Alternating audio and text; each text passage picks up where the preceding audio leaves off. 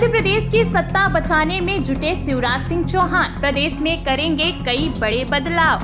बता दें मध्य प्रदेश में मिशन 2023 को लेकर भाजपा सियासी जमावट में जुट गई है। 2023 के विधानसभा चुनाव को देखते हुए भाजपा सरकार और संगठन में खाली पदों को जल्द भर सकती है। अटकलें इस बात की भी हैं कि 2023 के विधानसभा चुनाव को देखते हुए असंतुष्ट नेताओं को मनाने के लिए जल्द ही निगम मंडलों में नियुक्ति के साथ साथ मंत्रिमंडल का विस्तार भी किया जा सकता है। आपको बता दें कि निगम मंडलों में नई नियुक्ति, मंत्रिमंडल में संभावित फेरबदल और संगठन संगठन में महत्वपूर्ण फेरबदल से पहले आज मुख्यमंत्री निवास पर मुख्यमंत्री शिवराज सिंह चौहान और पार्टी के प्रदेश अध्यक्ष बी डी शर्मा ने रीवा संभाग के विधायकों के साथ बैठक की। माना जा रहा है कि बैठक में बिंद की मौजूदा राजनीतिक स्थितियों पर चर्चा की गई है। गौरतलब है कि लंबे समय से शिवराज सिंह चौहान मंत्रिमंडल में बिंद क्षेत्र की उपेक्षा का आरोपी पार्टी के नेता को ही लगा रहे हैं। इसके अलावा बिंद से आने वाले कई भाजपा विधायक अपनी ही पार्टी के खिलाफ मोर्चा खोले हुए हैं। इसमें मैहर से भाजपा विधायक नारायण त्रिपाठी और भाजपा के युवा चेहरे और सिरमौर विधायक दिव्यराज सिंह का नाम प्रमुख है।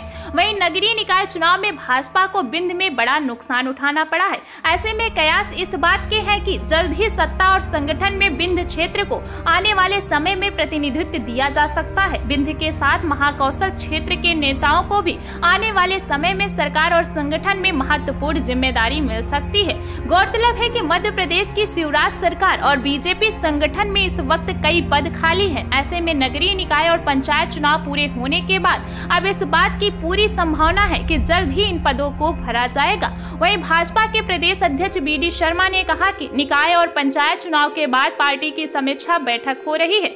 संगठन में परफॉर्मेंस के आधार पर नई नियुक्तियों की तैयारी हो रही है। संगठन खाली पदों को भरने की रणनीति बना रहा है। इसके अलावा खाली पड़े निगम और विकास प्राधिकरणों के पदों को भरने की भी तैयारी है। प्रदेश के सियासी गलियारों में इस बात की चर्चा भी तेज है कि 2023 के विधानसभा चुनाव से पहले मंत्रिमंडल विस्तार भी हो सकता है। शिवराज मंत्रिमंडल में अभी चार पद खाली है, जिन्हें विस्तार में भरा जा सकता है। मध्य प्रदेश में विधायकों की संख्या के हिसाब से मुख्यमंत्री सहित छत्तीस मंत्री बन सकते हैं। फ़िलहाल फ़िलहाल कैबिनेट में 30 मंत्री हैं, जिनमें से 23 कैबिनेट और सात राज्य मंत्री हैं। ऐसे में अभी चार और विधायकों